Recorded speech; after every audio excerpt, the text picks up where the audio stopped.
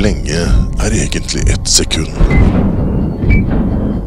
Det kan være en evighet. Han utklasser Hirscher! Og ett sekund kan være helt ubetydelig. Fullstendig overlegen. Vinner med nesten fire minutter. Og ett sekunds uoppmerksomhet kan være ett for mye.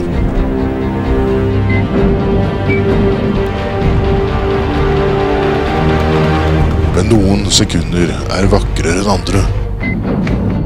For noen ganger så er ett sekund akkurat passe. Akkurat nok til å vinne fem-fire.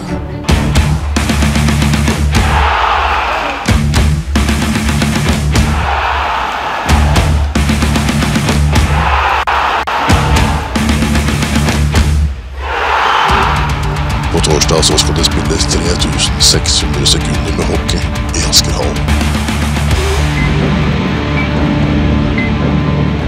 Velkommen til kamp på torsdag.